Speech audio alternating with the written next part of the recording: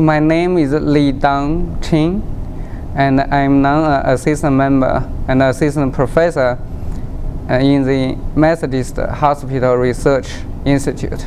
So my project is to use microfluidic devices and nanomedicine approaches to study prostate cancer. So these are regular size chips, like a glass slide size, and within this kind of device, we can do detection, diagnostics, and we can culture cells, we can study proteomics inside.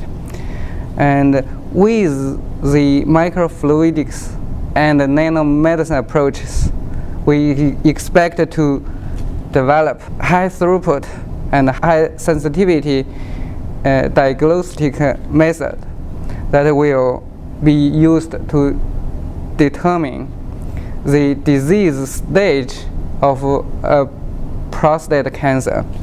And this determination of the stage is actually very important for patients to choose their uh, therapeutic method that best aim at their disease.